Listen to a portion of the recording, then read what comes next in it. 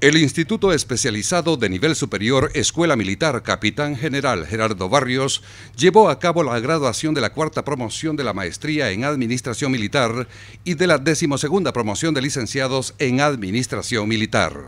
Este es un esfuerzo de, la profesionalización que ha llevado la Fuerza Armada y eh, apego también a la ley eh, de educación superior en donde el Ministerio de de Educación avaló para que este centro educativo pasara a ser un instituto de educación de nivel superior. Esto nos va a ayudar institucionalmente, como le digo, esto es parte de la modernización y vamos en ese camino dentro de la Fuerza Armada.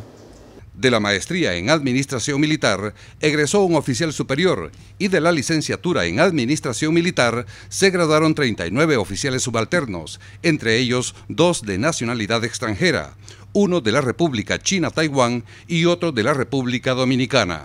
Un logro más que hemos alcanzado en lo que es nuestra carrera militar. Eh, como profesionales de armas, eh, esto también nos acredita como profesionales en, una vida laboral, ¿verdad? Que a la larga esto nos va a servir en el desempeño de, nuestras labores, en las actividades que nosotros realizamos en nuestras unidades militares. Me siento muy satisfecho con todos los conocimientos, toda la preparación que he obtenido por parte de la Madre Escuela Militar. Me voy satisfecho y completamente feliz de regreso a mi país, a cumplir y a poner en práctica todo lo, todo lo enseñado aquí en esta Madre Escuela Militar.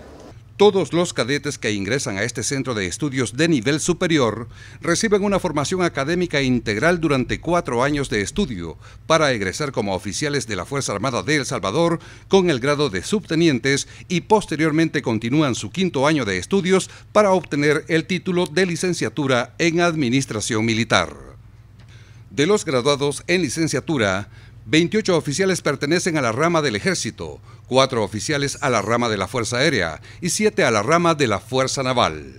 Es un orgullo poder servir también a nuestra nación, no solo como oficiales en el mar, sino también ya licenciadas como profesionales. He requerido bastante esfuerzo institucional y personal de cada uno de los nuevos oficiales que nos graduamos como licenciados el día de ahora.